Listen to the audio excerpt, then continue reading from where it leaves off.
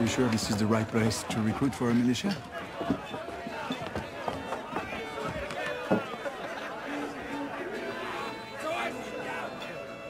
God save King George!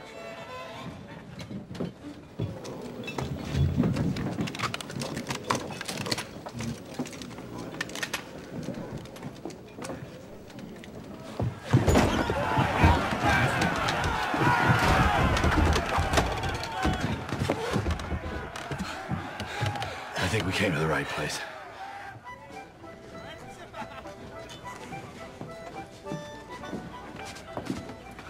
Any bounty? Well, no scalp money this time, Rawlins. But you can keep or sell back to me the muskets and gear of any redcoat you kill.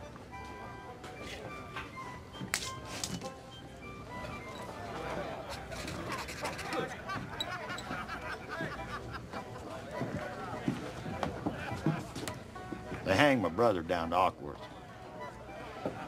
Every damn one of them redcoats deserves to die. Sign on up. With all my ailments, I wouldn't make it through the first skirmish. No, sir. But you can have my Negro. He fought in my stead. Occam, get over here. He ain't overly smart. He's strong as a bull. Can you write? No, no, no, sir. Well, then make your mark. What? I just signed him over to you. If you're willing, I'd like you to make your mark.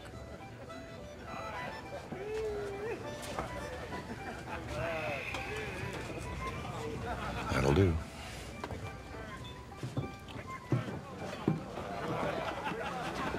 Ah, I'm gonna kill me some redcoats. I believe you would. How old are you, son?